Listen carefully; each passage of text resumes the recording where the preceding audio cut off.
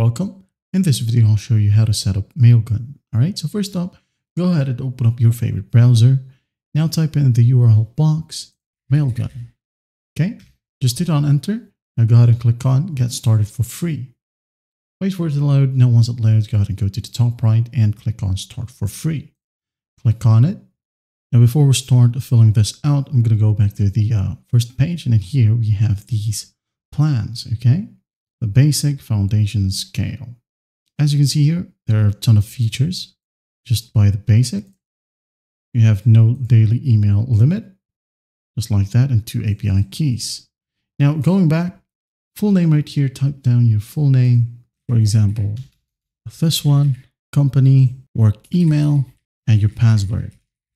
Okay, confirm your password and make sure that it match. Okay, if you're just testing it out, you can go ahead and untick this uh, add payment info now. Click on it. Now go ahead and verify that you are not a robot.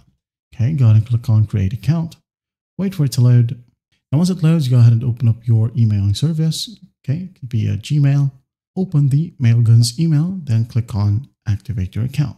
Okay, once that's done, you can go ahead and go to send right here go ahead and go to domains. Now you can use this free domain, okay? Or actually a sandbox domain. You can use this one just for testing. If not, you can go ahead and click on add new domain right here. Type down your domain name, for example, this one. Select the domain region, US or EU. Now your DKIMs right here, you can go ahead and use 1024 or 2048, or you can go ahead and use automatic sender security. Okay, go ahead and click on add domain. Wait for it to load. Now once it loads, you'll be landed to the domain's DNS records. So all you have to do in here is just go ahead and copy all these records to your hosting platform. It could be Namecheap or even a Hostinger. Copy and paste everything that is needed right here, like TXT, CNAME, two CNAMEs actually, MX as well, and CNAME for tracking. And don't forget to copy the values as well, okay? If you want to enable DMARC, we have that in here at the bottom left. Click on it and wait for another tab to open or section right here. Again, copy all these records to your uh, hosting platform. And once done, you can go ahead and go to the top right and here, click on verify.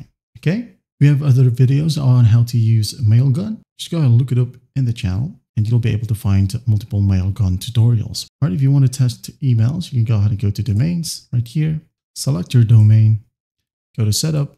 We have APIs right here.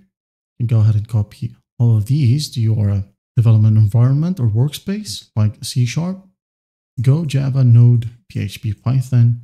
Just go ahead and click on copy code right here, paste that in there. Once done, you'll have your results, okay? You have SMTP here as well. If you want to set up your own SMTP, go ahead and go to these tabs, click on SMTP credentials, add a new user, your username, select manual if you want to put your own password, hit on create, okay? For testing, you can go ahead and use these data, okay? If you want a uh, step-by-step uh, -step guide, you can go and click here. And here's basically a tutorial as well, okay? That's basically how you set up your Mailgun. Well, I hope this video helps and I'll see you in the next one.